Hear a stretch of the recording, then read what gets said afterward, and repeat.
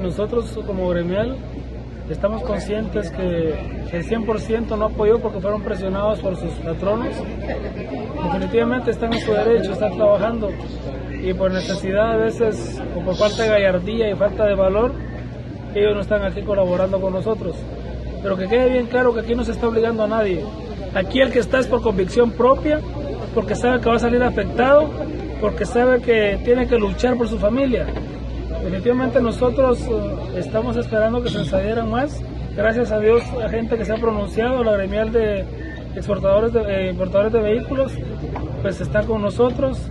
Eh, los abastecedores de agua en, tipo cisterna o pipa dejarán de surtirla en la ciudad capital. los recolectores de basura ya se dieron con nosotros y de ser así ellos llegaron a recoger la basura en la ciudad capital.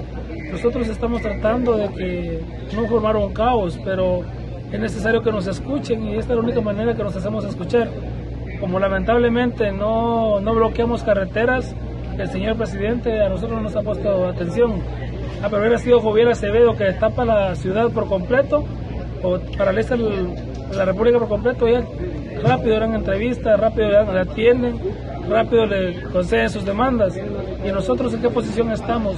Aunque le duela a quien le duela, nosotros movilizamos la economía del país, somos la columna vertebral del país. Por nosotros pasa todo tipo de mercadería. Vamos a ver si, señor alcalde, no le estamos vulnerando a nosotros eh, la economía del país, ni le estamos pegando el diésel, el combustible a la población guatemalteca. Pero cuando ya se les acabe la materia prima que viene de México, cuando empiecen a sentir presión, nosotros vamos a estar aquí a la lucha y si nos toca pasar aquí un mes, lo vamos a hacer.